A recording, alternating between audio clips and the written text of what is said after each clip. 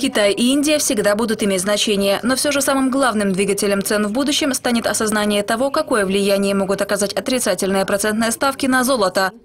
Алистер Маклауд, Gold Money.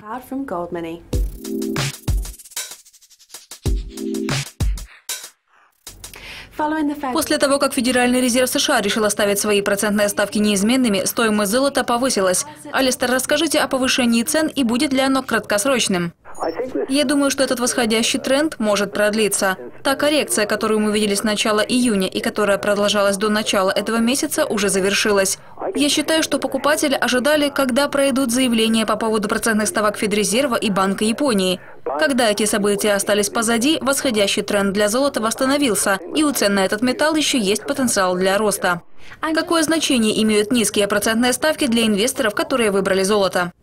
На самом деле это очень важно. Отрицательные процентные ставки, которые были внедрены для повышения уровня инфляции, играют очень важную роль для показателя спроса на золото. Пока что я не думаю, что инвесторы приспособились к этому простому факту. Западные инвесторы начали покупать при первом повышении цен, которое произошло на волне беспокойств по поводу будущей монетарной политики. А вот в следующем году, я думаю, уровень инфляции начнет расти, причем он будет расти быстрее, чем процентные ставки. А это означает, что реальные процентные ставки станут еще более более отрицательными. Соответственно, все больше инвесторов будет хеджировать свои риски с помощью золота и серебра. Поговорим о заседании Федерального резерва в декабре, в рамках которого должно пройти очередное повышение ставок согласно ожиданиям. Как вы прогнозируете движение цен на золото в преддверии этого события?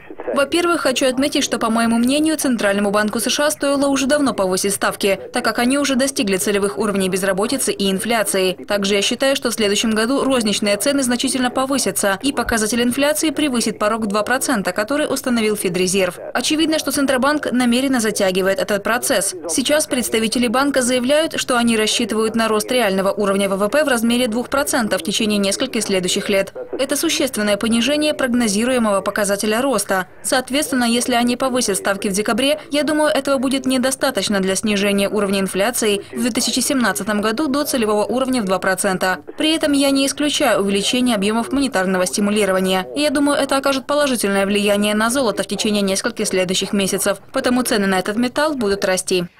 Кроме Федрезерва, другой важный двигатель цен на золото – это спрос со стороны Китая и Индии. Как правило, празднование лунного Нового года в Китае в январе влияет на стоимость золота. Учитывая все это, можно ли сказать, что вскоре мы увидим начало бычьего тренда на рынке золота? Да, совершенно верно. Китай и Индия всегда будут иметь значение. Но все же самым главным двигателем цен в будущем станет осознание того, какое влияние могут оказать отрицательные процентные ставки на золото. Я считаю, что в будущем спрос на физическое золото значительно увеличится в Европе и Северной Америке.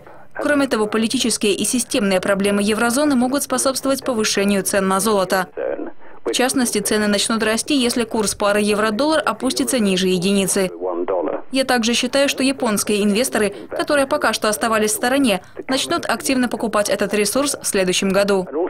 Также центробанки могут увеличить объемы закупок золота, учитывая ухудшение монетарной среды. До тех пор, пока мы не увидим возврата к положительным процентным ставкам, а мы все понимаем, что это маловероятно, восходящий тренд для золота будет развиваться. Алистер, спасибо за ваши комментарии. Оставайтесь на Дукаскопе ТВ. Мы подготовили для вас еще множество интересных программ. Всего доброго.